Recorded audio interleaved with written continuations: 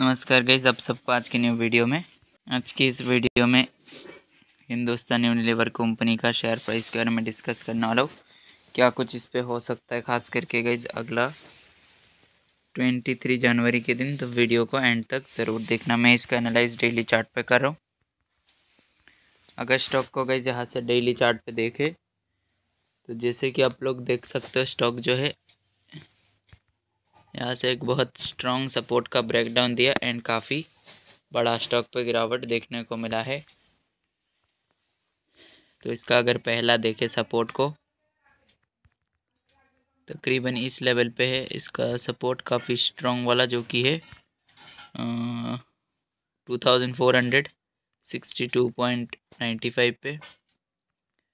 अगला सपोर्ट इसका देखने को मिल रहा है two thousand four hundred forty nine point ninety five पे है।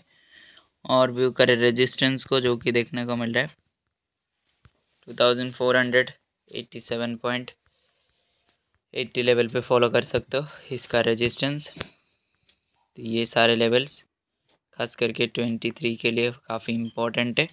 एंड अगर मुझसे कांटेक्ट करके स्टॉक से रिगार्डिंग कुछ भी जानना चाहते हो तो अबाउट पे कांटेक्ट है, वहाँ से कांटेक्ट कर सकते हो।